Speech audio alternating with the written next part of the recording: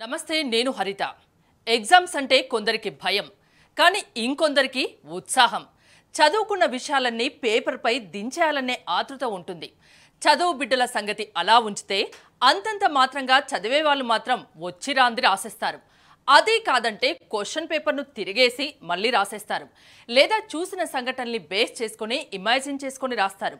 ఇలా మీలో చాలామందే చేసుంటారు. కానీ ఎమ్మెల్యే అంటే ఎవరు అనే ప్రశ్నకు ఏడవ తరగతి విద్యార్థి రాసిన సమాధానానికి నవ్వాలో ఏడవాలో అర్థం కావడం లేదు.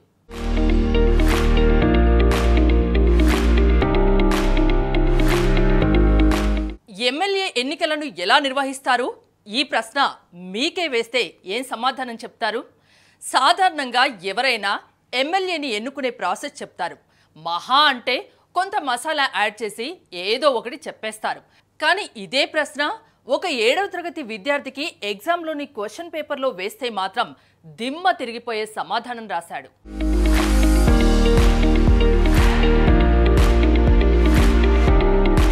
శాసనసభ్యుడు అదే ఎమ్మెల్యేని ఎలా ఎన్నుకుంటారు అనే ప్రశ్నకు ఒక విద్యార్థి వెరైటీ సమాధానం రాశాడు.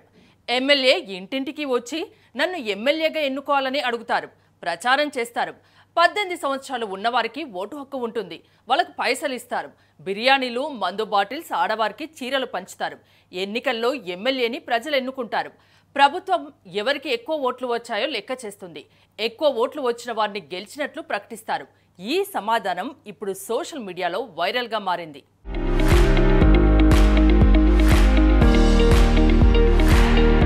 ఈ ఘటన రంగారెడ్డి జిల్లా ఫరూక్ నగర్ మండలం లింగారెడ్డిగూడలో జరిగింది. ప్రభుత్వ పాఠశాలలో ఏడవ తరగతి చదువుతున్న ఒక విద్యార్థి ఈ సమాధానం రాశాడు. కొందరు నెటిజన్లు విద్యార్థి రాసిన సమాధానాన్ని సమర్థిస్తున్నారు. సమాజంలో ఇదే జరుగుతోంది కదా అందుకనే అలా రాశాడని అంటున్నారు. పుస్తకాల్లో ఉన్నది ఎవరికి కావాలి?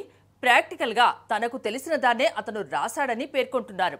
రాజకీయాలపై వచ్చే జనరేషన్లకు ఎలాంటి ఒపీనియన్ ఉందో చూడండి అని అంటున్నారు మరికొందరు. కాగా విద్యార్థి రాసిన ఈ ఆన్సర్కు టీచర్ నాలుగు మార్కులు వేయడం ఇప్పుడు మరింత హాట్ టాపిక్గా మారింది.